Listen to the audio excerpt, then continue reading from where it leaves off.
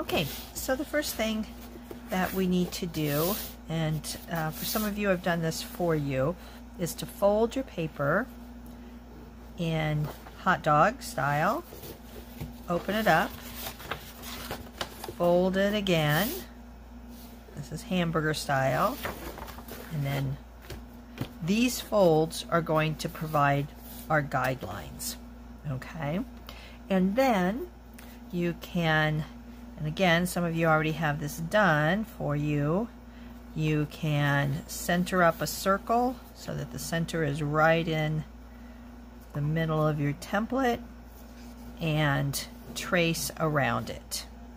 Okay, I'm not going to switch off and start using um, a, uh, a permanent marker.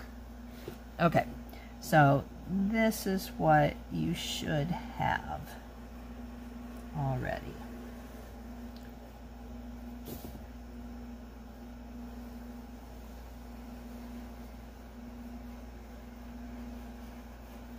And I suggest that you draw it in pencil and then go over it with um, uh, the, the Sharpie. Believe me, I did a lot of erasing um, when I was doing this. Okay, so this is a mandala and we're, as I mentioned before, we're learning about radial design. And so that every fourth coming out from the center, every fourth of our of our design is the same. Okay? So one, two, three, four. We have four of the same design. They're all just coming out from this center point.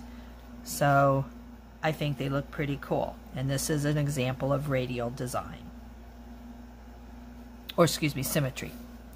Okay, so we can you can make this as um, detailed as you want or as simple as you want.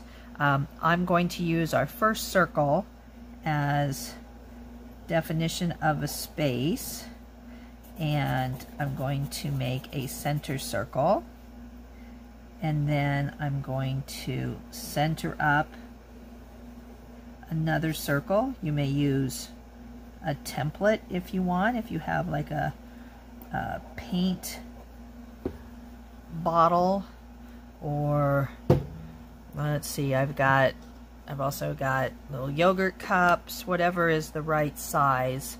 Um, one of these larger paint bottles might work for you and then I'm going to draw lines. You do not need to make the same design as I do along those folds. And then I'm going to have it come out from the center. It's like we are creating a pie. Okay. And then I'm going to use this fold again as the center of a triangle and then guess what I'm going to use this fold as the center of the triangle. This is the, um, do you remember the kaleidoscopes, the where you could turn them and they would move and you look through it and they move into different shapes and colors? That is an example. Those designs you were seeing, that's an example of radial symmetry.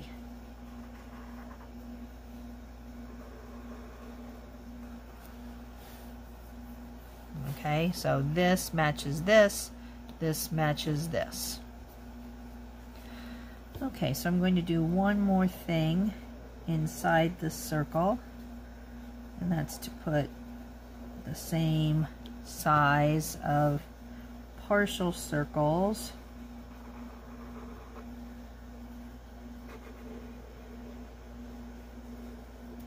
in between our triangles.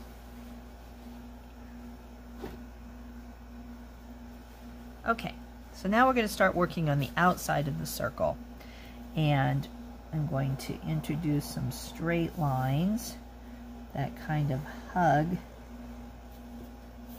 the larger circle.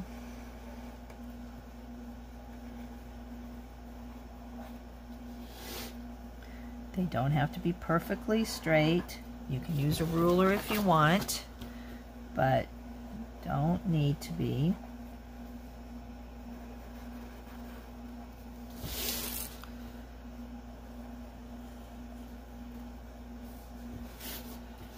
So I box that in. And then I'm going to use a bottle or something as a template and do four circles kind of straddling these guidelines.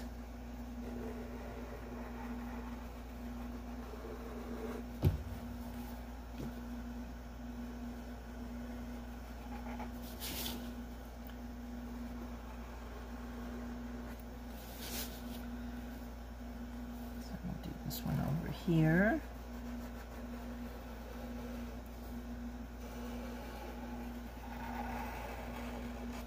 So here's our guideline, slicing right through the center. And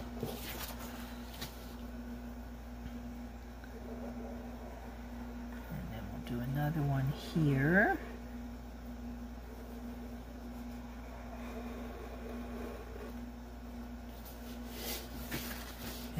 do the fourth one here. So again, these are all positioned at the same place. They're the same size. So we're following our guidelines of radial symmetry. Then what I'm going to do is put a dot right in the middle of each of our circles and then I'm going to do kind of like a flower petal straddling that line.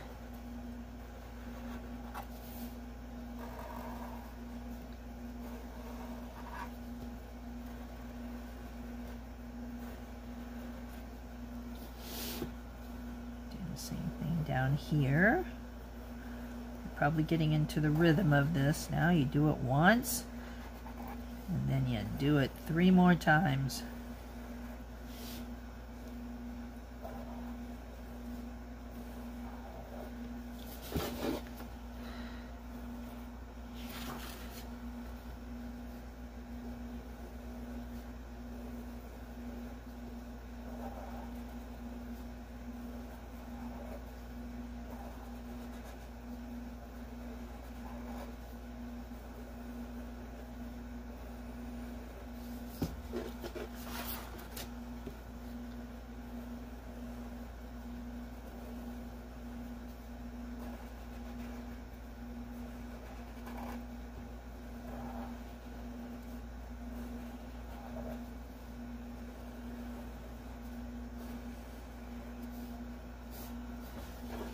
Okay.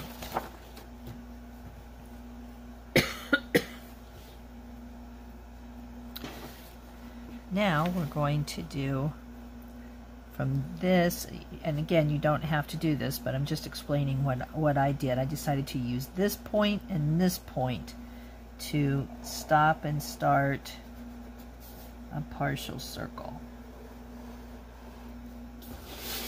I'm going to turn the same thing.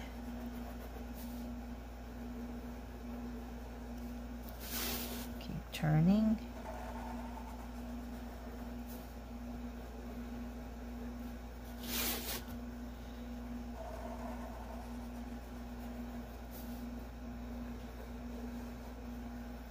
All right, now I've got four. And again, you can see that I can turn it any way. And it looks the same. So then I'm going to do diagonal line out from the corner of my square.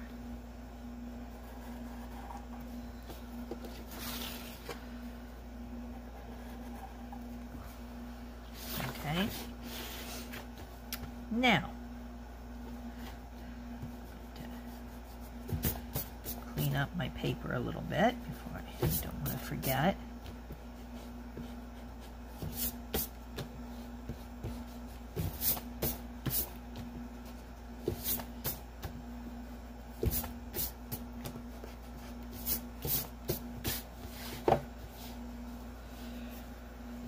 Okay, so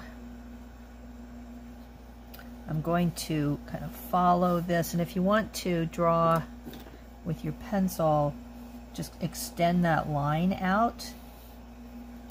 Okay, you can erase it later.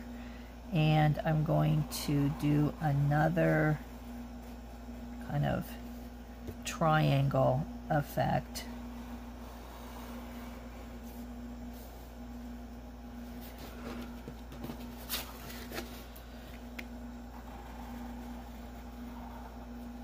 Again, you can extend that line out for as a guide. And then just have it hug like an ice cream cone. Just have it hug the circular shape.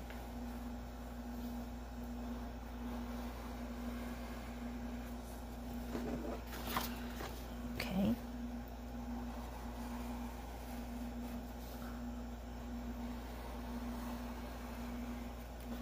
There we go. Okay, and then give a little different look, I'm going to do some round, rounded curved lines on these. Again, I'm just showing you different techniques that you can use while you're designing yours.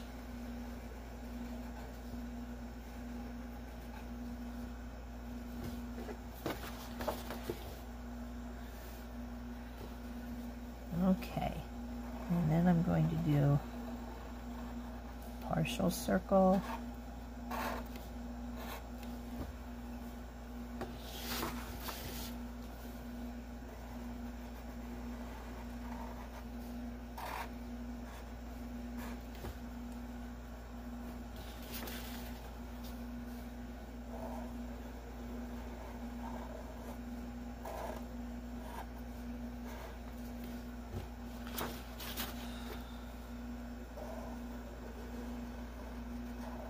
And here's the last one.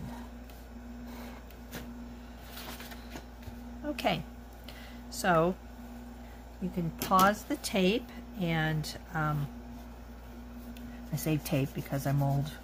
You understand that I just am used to thinking about videotapes instead of vi digital videos. So I am dating myself, I guess, by calling it a tape, but you can pause the video and take your time with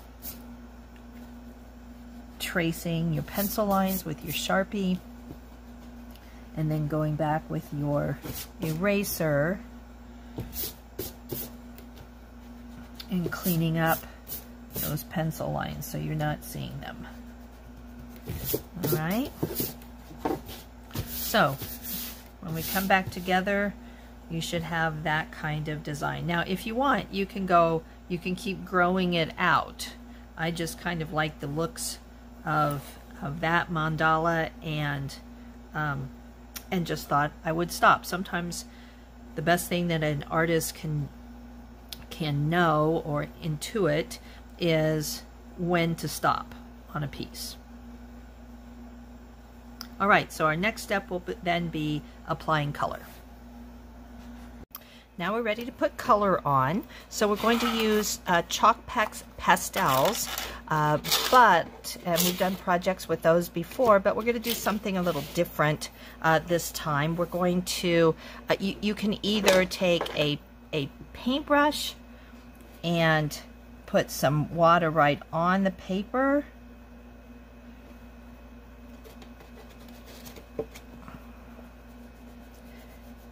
like that. And what you'll see is that it really brings a lot of dark, dark color to it.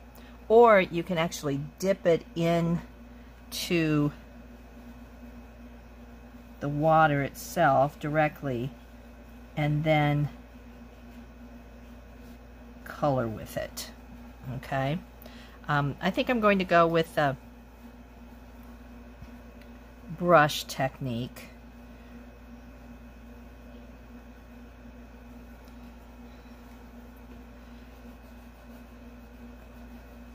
And what's fun about this is that it does give it an, an interesting color. You can spread it around a little bit, not as much as if it was dry.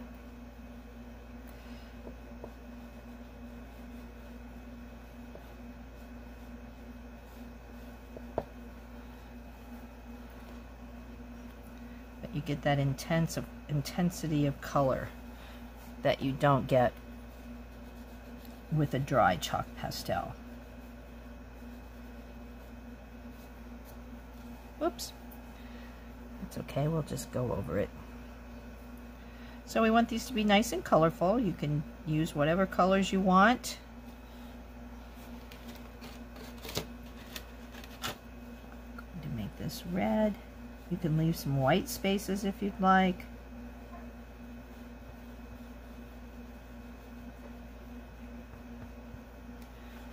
Just make sure that you don't get your hand in it because it will smudge it.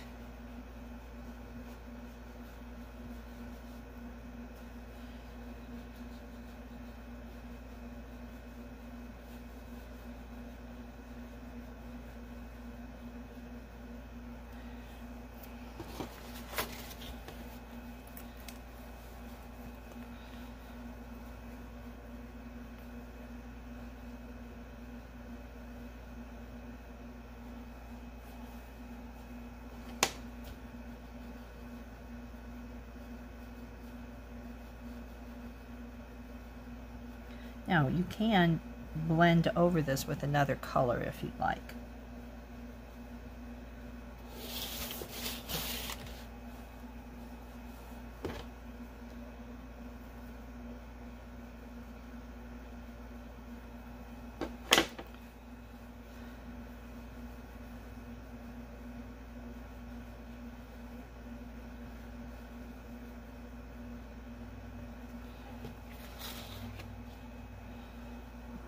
Okay. Let's see. Now we'll do another section.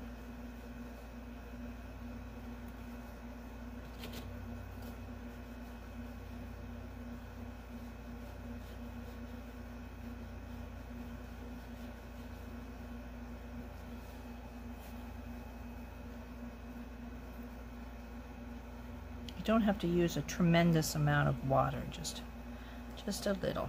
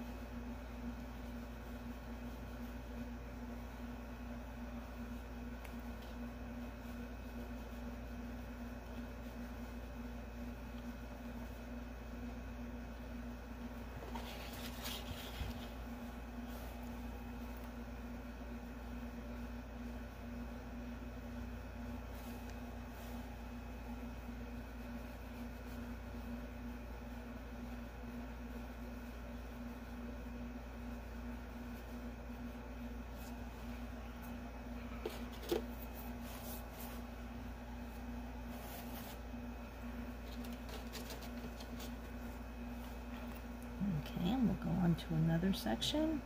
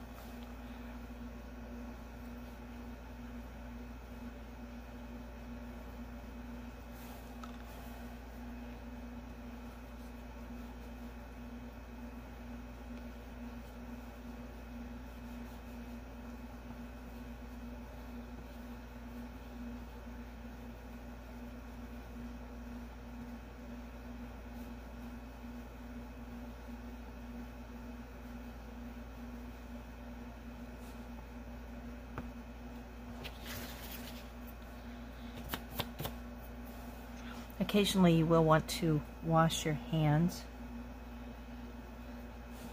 because they'll get pretty pretty crummy with all this as you can see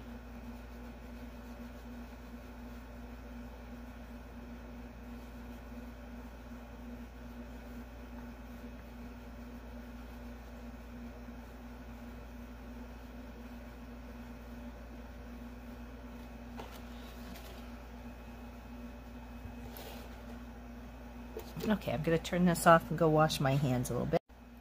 Okay, so I have the middle section done, and I'm going to show you just what this can look like. I'm not going to um, uh, finish up the whole thing because hopefully you're doing your own thing and having a good time, and I don't want to sway what you're doing. Uh, but uh, I'm just going to work out here and I'm going to get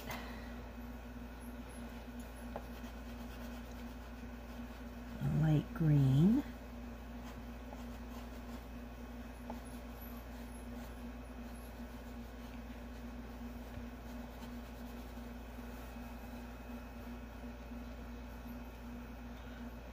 And if you want to, you can go back over with your brush and smooth it out like that. That's another technique that you can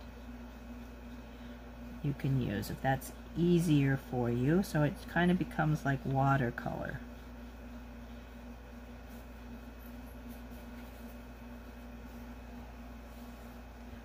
Okay.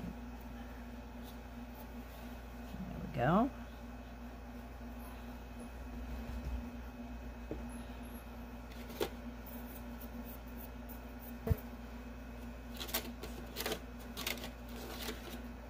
Can put a little bit of water. I'll show you more how to do that technique.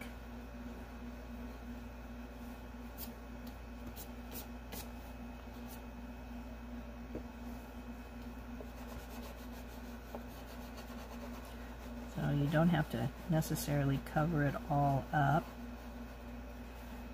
I think you can take a damp, not real drippy, and you can use it like watercolor.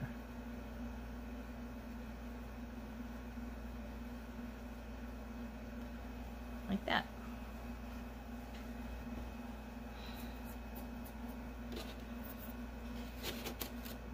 Now, I'm not going to show you how I'm doing all of these, but each one of these should look like this. Remember, we're going for the radial symmetry, so each part should be colored the same.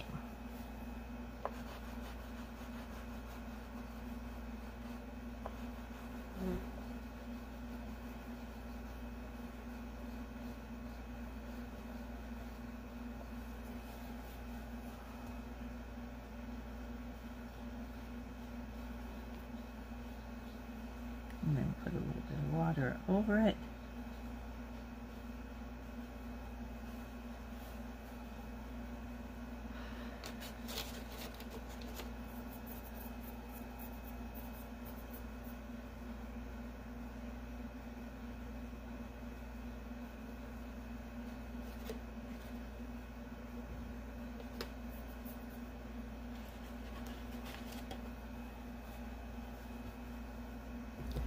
Make sure that you clean out your brush if you're using the brush to move your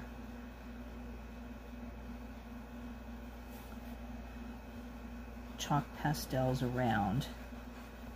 Make sure that you clean out your brush before you switch to a different color.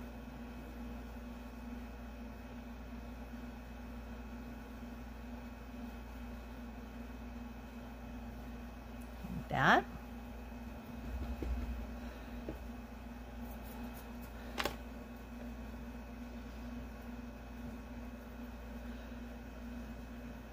some white spaces here, so I think I'm going to go over that.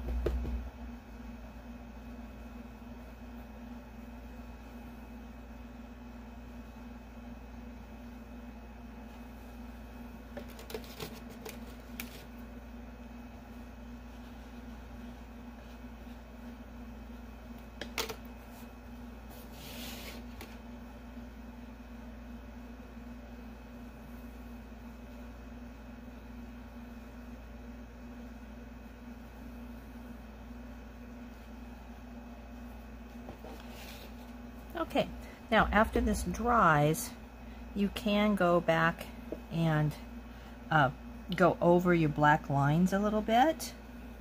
And then if you want to, um, you can put a matte fixative on it to make sure that it doesn't smudge off.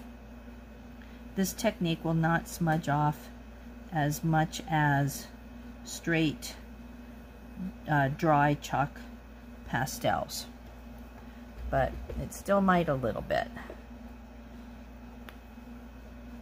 I'm going back over some of these areas.